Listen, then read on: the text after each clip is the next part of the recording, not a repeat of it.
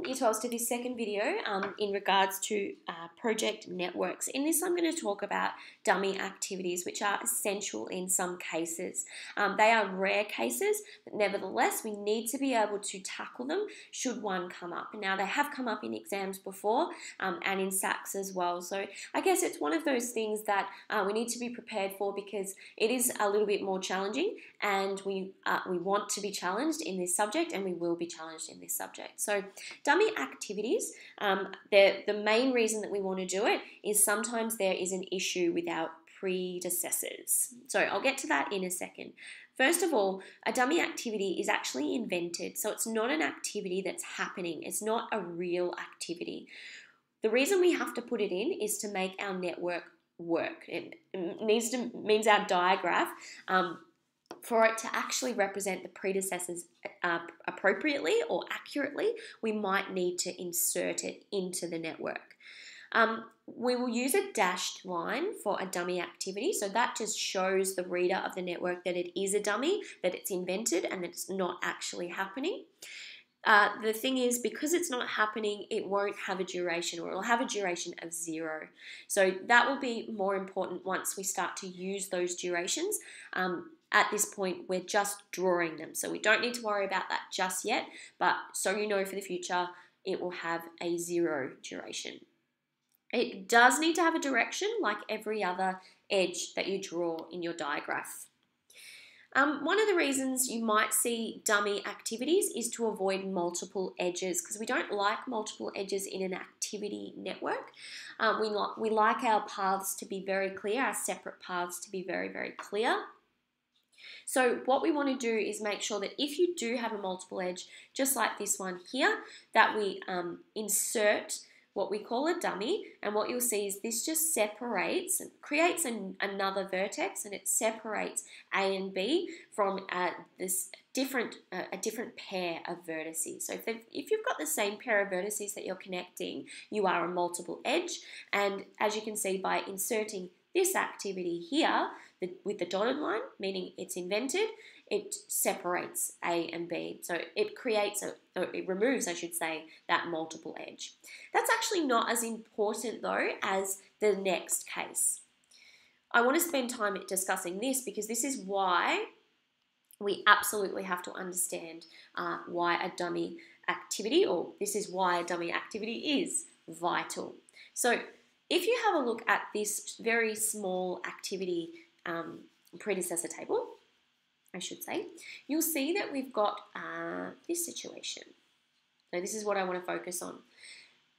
C and D both need A to be done. So they share A as a predecessor.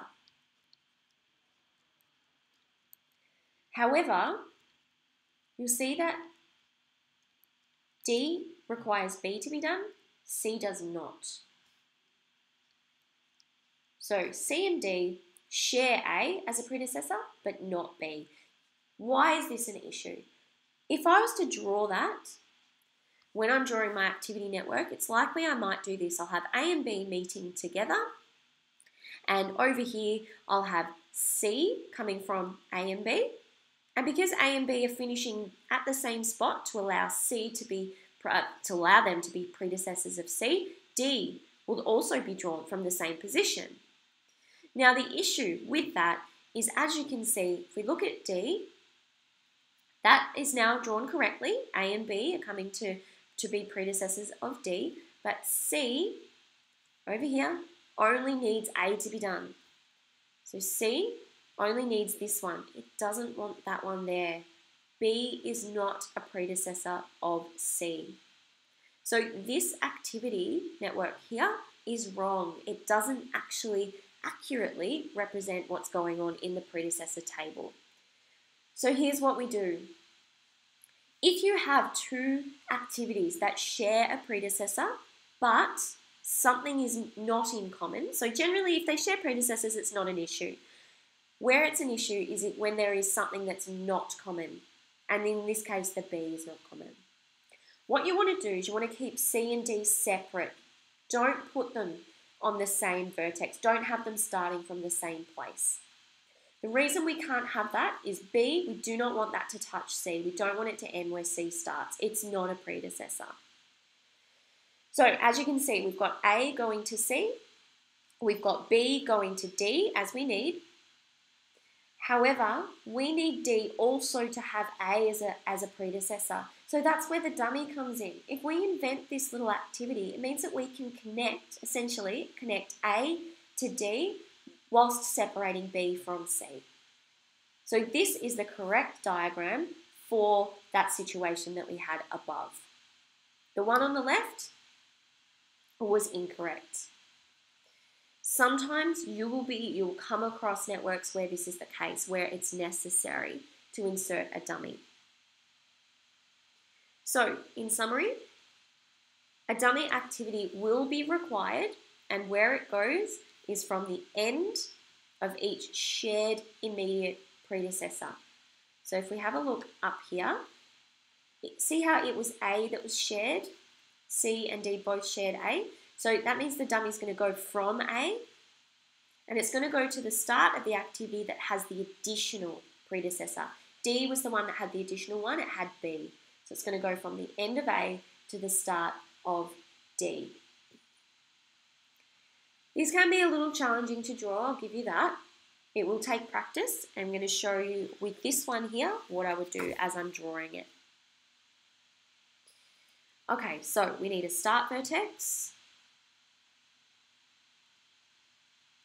So let's go. We've got A, B, and C that are all coming from the start vertex. A, B, and C. So these three are done. Now, oh, before I move on, sometimes it's really obvious, or I like to have a look at the predecessor table to know that I do need a predecessor. And what you're looking for is any um, common predecessors. So you see these two are common, but that doesn't matter because there's nothing um, that's not common. Um, down here, you'll see, ah, here we go.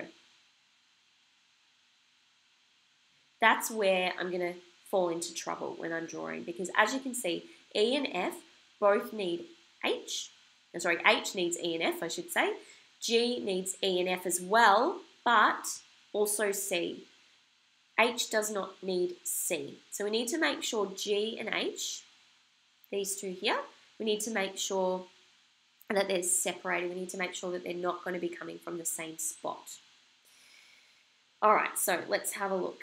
We've done A, B, and C. D needs A, so I'll finish A there, and I'll just draw D in here for now.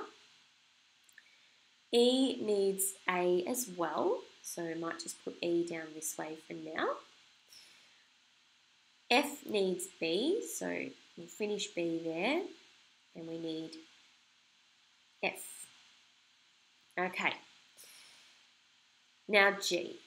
G needs E, F, and C, but I know that H I can't have C going up there because H can't have C as a predecessor. So what I'm going to do is I'm going to draw H first. I'm going to draw the one that doesn't need the additional activity. If I put it there, then what I've got is E and F coming to be predecessors for H, and that works. So I'll just tick off H, I've done that one. The issue, of course, now is G. Let's do This. G needs C and it needs E and F. So if I just bring C around a little bit, to here.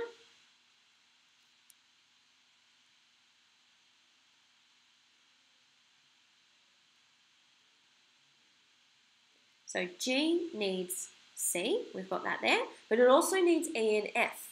So to make sure E and F go to G now, I insert the dummy.